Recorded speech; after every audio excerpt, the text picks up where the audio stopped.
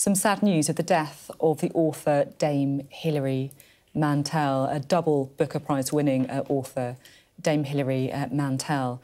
Uh, it was announced on Twitter uh, by Fourth Estate Books. Uh, they say uh, in their tweet, We are heartbroken at the death of our beloved author, Dame Hilary Mantel, and our thoughts are with her friends and family, especially her husband Gerald.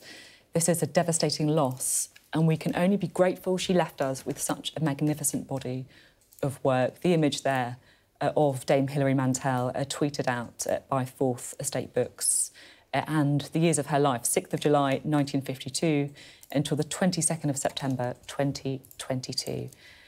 Hilary Mantel uh, published her first novel in 1988. She's seen as one of Britain's greatest uh, novelists and a two-time winner uh, of the Booker Prize for fiction for the two novels Wolf Hall uh, and Bringing Up the Bodies, uh, the Thomas Cromwell uh, sequence.